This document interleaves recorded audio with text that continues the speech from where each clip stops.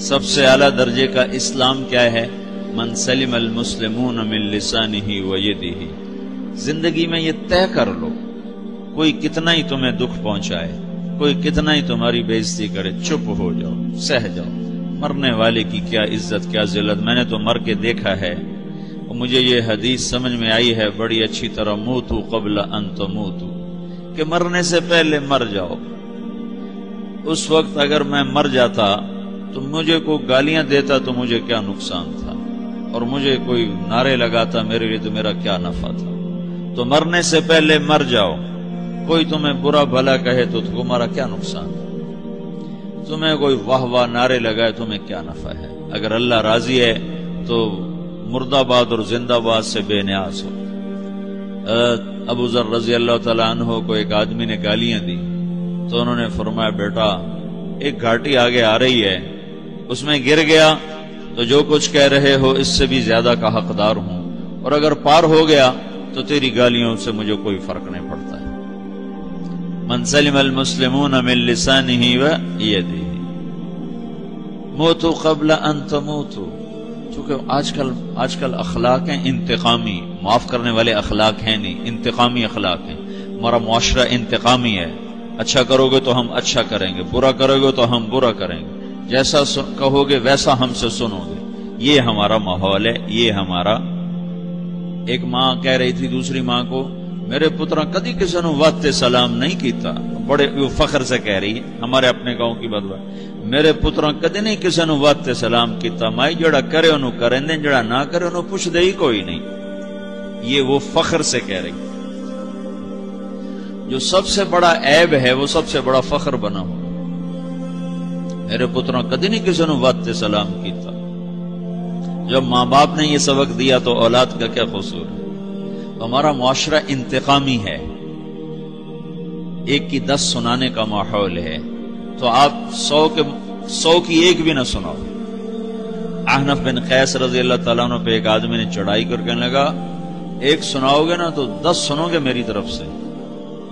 तो आहनफ बिन कैस कहने लगे, भाई, तू मुझे सौ भी सुनाएगा ना? तो मेरी तरफ़ से एक भी तो नहीं सुनेगी एक आदमी उनकी बड़ी बेइज्जती कर रहा था और वो चल रहे थे और वो सौ गालियाँ बक रहा है, बक रहा है। जब आ गया ना करीब शहर तो कहने लगे, देखा मेरा कबीला यहाँ रहता है। अगर किसी ने सुन लिया ना तो तेरी बड़ी धुलाई कर देगा। तो तूने जो मुझे गालियाँ देनी, मैं खड़ा हूँ, यहीं तू दे ले। तो अपना सारा ज़ोर पूरा कर ले, ताकि आगे तेरे, तुझे कोई तकलीफ़ ना पहुँचा दे मेरी वजह से। तो वो पाँव पे गिर के माफ़ी मांगने लगा। कि वाकई तू बड़े हिलम वाला वो मशहूर थे अपने हिलम में। बुरदबारी और लोग उनका इम्तिहान लेने आया करते थे। इम्तिहान लेने आया करते थे। कि भाई कोई है जो अहनफ को गुस्सा दिला तो लोग नाकाम हो जाते थे, उनको गुस्सा नहीं आता। ऐसे एक अरब सरदार गुजरा, मान बिन जायदा। वो भी अपने हिलम में बड़े मशहूर थे। एक दफ़ा लोगों में शर्त लग गई कोई है मान बिन जायदा को गुस्सा दिलाए तो हम उसको इनाम देंगे। तो एक शायर ने कहा, मैं गुस्सा दिलाता हूँ। तुम देखना, ऐसे सीख पा हो जाएगा जैसे जानवर। तो वो चला गया उसकी मजलिस में। दरबार लगा, अरब सरदार था, बहुत बड़ा। दरबार लगा हुआ तो कहता असलाम वालेकुम तो मान बिन जायदा पर एक दौर बड़े फकर का गुजरा था। फिर अल्लाह ने उसको बहुत बड़ी सरदारी दी। बनु अब्बास का बहुत बड़ा ये वज़ीर गवर्नर था।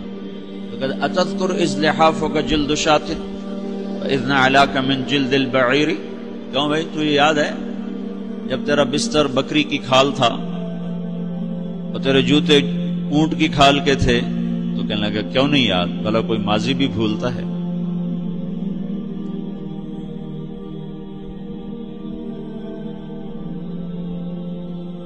तो वो कहने लगा, पहला वार तो खता का सुबहान आता का मुल्कन व कल जुलूस अला शरीरी तो फिर सारी तारीफें तो अल्लाह की हैं। जिसने तेरे जैसे को तख्त पे बिठा दिया। कहा, भाई, सारी तारीफें अल्लाह की हैं, मेरी तो कोई औकात नहीं।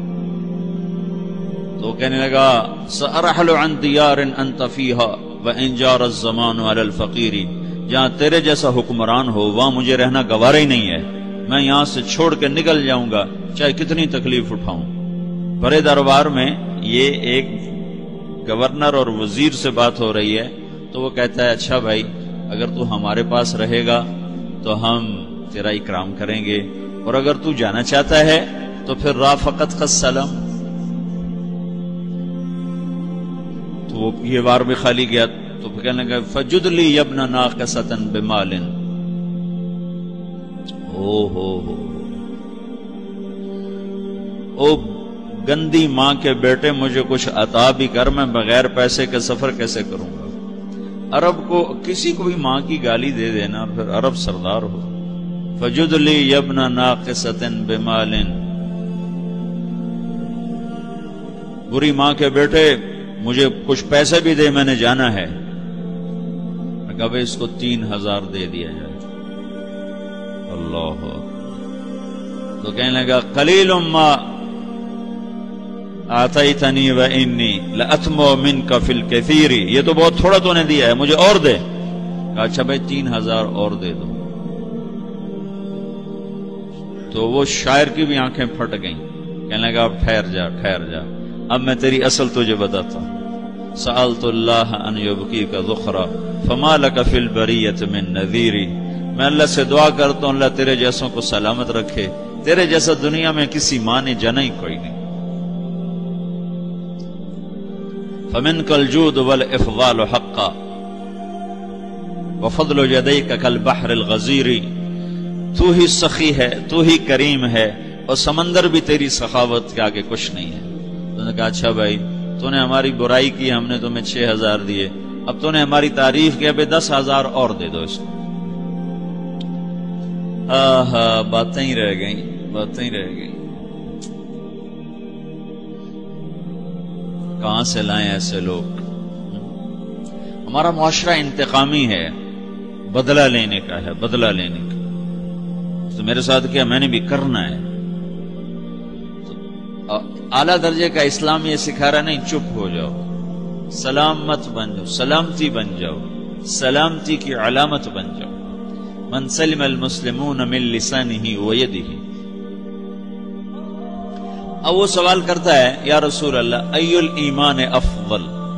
सबसे आला दर्जे का ईमान क्या है? इस्लाम क्या है? कलमा नमाज़ रोजा हज जक़ात।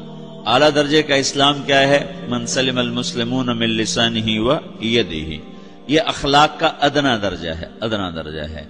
अदना दर्जे पर पहुंचकर आप इस्लाम में आला दर्जे पर आ, आ सकते हैं। वो सवाल करता है, ईमान क्या है? तो आपने कहा, अल्लाह पर, फरिश्तों पर, किताबों पर, रसूलों पर, मौत के बाद की ज़िंदगी पर तकदीर पर।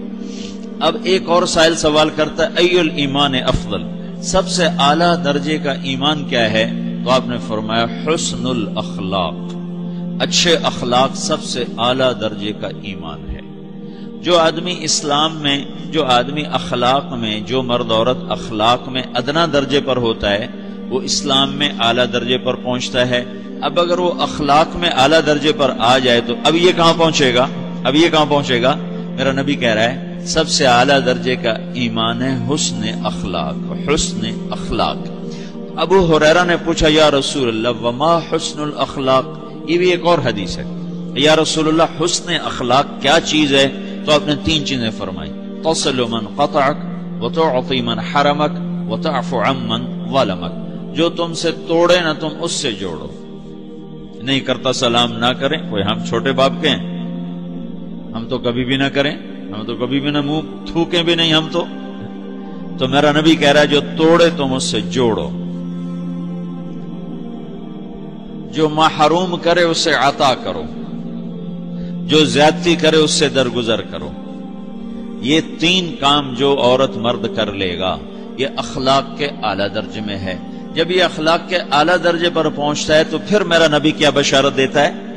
अदना दर्जे पर पहुंचकर तो आला मुसलमान की बशारत है, और अखलाक में आला दर्जे पर पहुंचकर मेरा नबी कहता है, कादल हलीम अन यकून नबिया, आला अखलाक वाला बस नबी बनते बनते रह जाता है।